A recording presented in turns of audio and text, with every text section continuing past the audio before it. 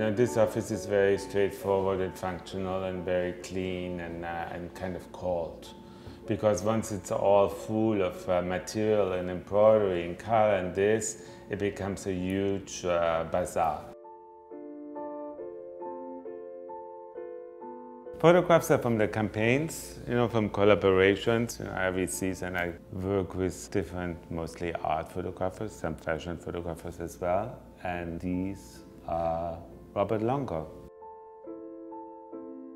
Boxes in the corner are colors. They're with me since more than 30 years. I go through the boxes and I start with a color. Every collection for me, you know, my process is always the same. I start with color, from color I go to material, material dictates shape.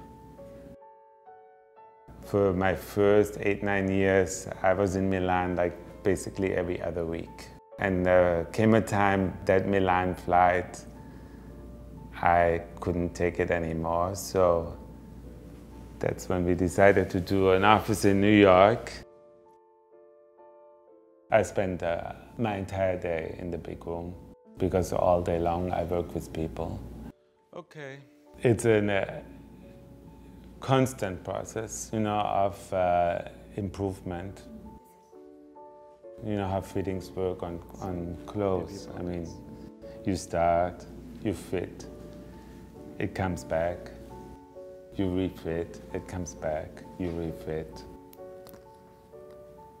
Sometimes you fit only twice, sometimes you fit four times, and sometimes it goes nowhere.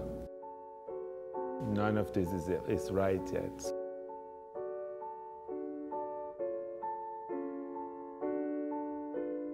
I like to have a very clean space. But uh, in clothes, I like the accident always. I always like when there's something that is slightly off. Okay, that's better. On to the next. Do you want to make it perfect? But I, I always like when there's something wrong.